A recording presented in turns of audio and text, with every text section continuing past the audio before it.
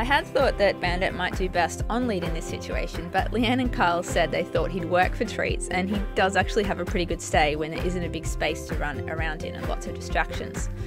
So we decided to give him a go off leash for the photos, but put him back on between takes. Good boy.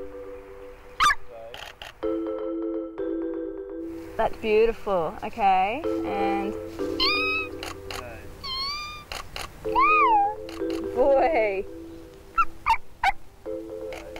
Okay, go and give him a treat. Oh, he's a very good boy. Good boy. He's, he is when you do that face. Like, I'm super impressed. That's awesome. I expect he would have just like gone he's running. not too bad. He's bad, but he's Yeah. not. going to shoot a little bit further up the path here because I think there's some really pretty light coming in a little bit further up.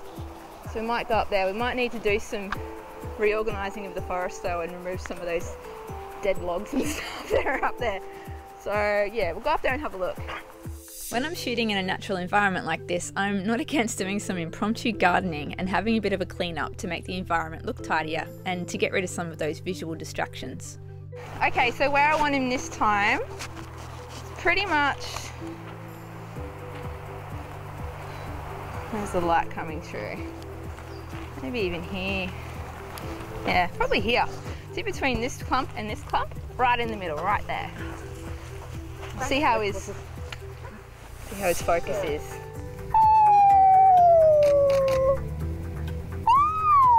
Okay, go back and give him a treat. Good boy, good boy. Since the light had decreased after moving further under the trees, I went back to shooting at ISO 1600.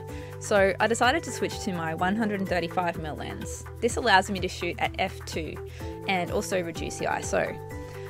Also, I just really love this lens and the creamy soft backgrounds it creates.